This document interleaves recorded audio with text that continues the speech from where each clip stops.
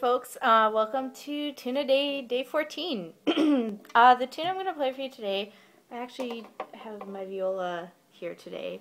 Um, and I'm going to play a tune that I learned um, when I played a gig with my friend Tatsu in St. John's a couple years ago.